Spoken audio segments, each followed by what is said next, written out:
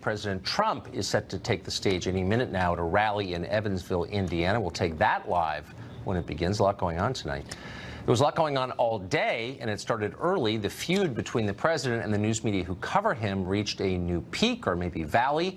It began with a tweet storm early from the West Wing, the barrage, 6.50 a.m. when it started. The first tweet read this way, The hatred and extreme bias of me by CNN has clouded their thinking and made them unable to function.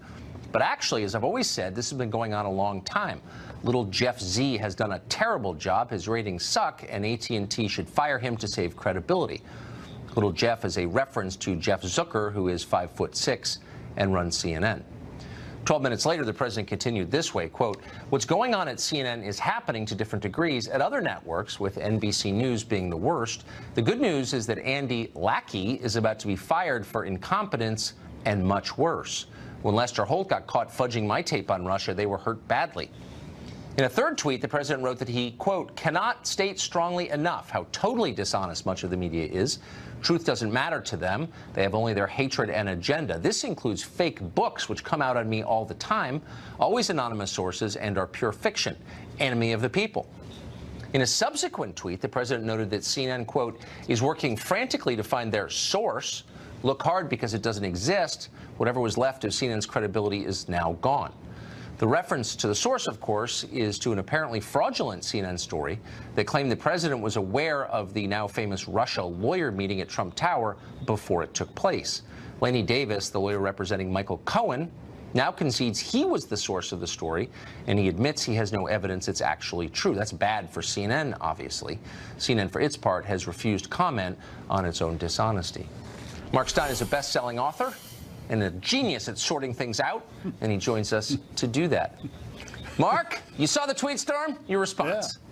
Well, I think it's always a good idea, Tucker, when the president gets the media talking about themselves. Uh, I, I, saw Howard Kurtz earlier, and Howard's analysis makes sense in media terms, but I think out in the wider world, uh, the reality is that uh, the media are all people loathe the media uh, even more than politicians, and they especially loathe the media when they're talking about themselves. So if you can get Carl Bernstein uh, talking pompously and ponderously about how he has spent whatever it is 60 years quote bringing the truth to light unquote while he's summering at Sag Harbor uh, which I gather is like Sag Harbor is uh, some broken down old lobsterman's decrepit village somewhere way up the coast nobody's ever heard of. But anyway Carl Bernstein's Carl Bernstein's summering at Sag Harbor announcing that he's bringing the truth to light. Uh, every time you can get the media to stand on their own portentousness,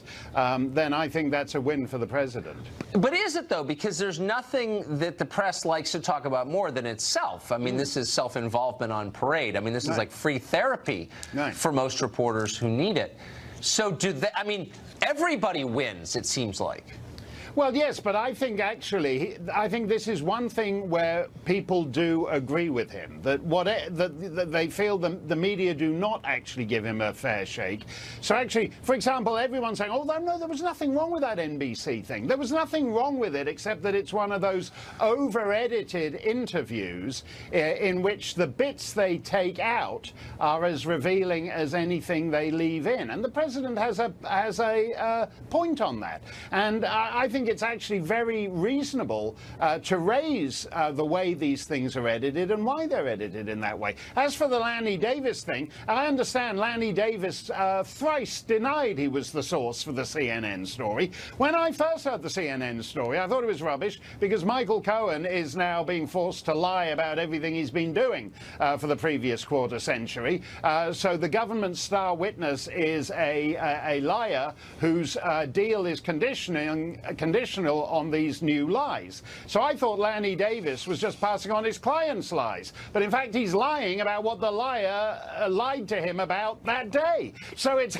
it's, it's, it, it's actually, even by CNN media source standards, it's falling apart, that one. It's meta lying. Mm, so, mm. I mean, you're old enough, like me, to mm. remember a time when political analysts said things like, what American voters really want mm, is authenticity and mm-hmm. transparency in their politics. Mm-hmm. Here we have a president who's literally tweeting in his bedroom early morning saying things like CNN sucks. Right, now, right. that's the most authentic and transparent Yeah. thing a president has ever Yeah, yeah, done. And yet, the media hate it.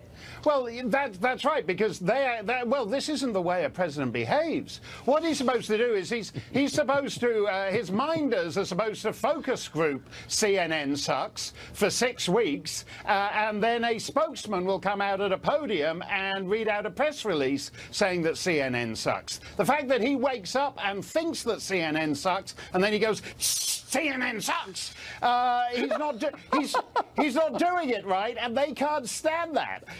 And and you're right. This is actually you can complain about a lot of things, but this is like actually being plugged into Trump's brain when he wakes up in the morning, and they can't. And after asking for unfiltered, un, uh, authentic uh, politicians who aren't in the bubble, this guy isn't in the bubble. He's out of the bubble, taking the tire iron to them, and they can't stand it.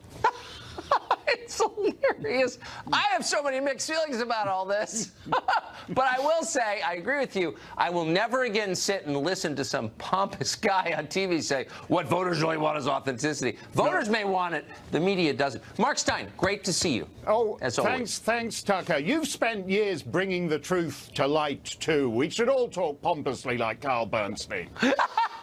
What a fraudulent character. Mm-hmm. Thank you, Mark. Right.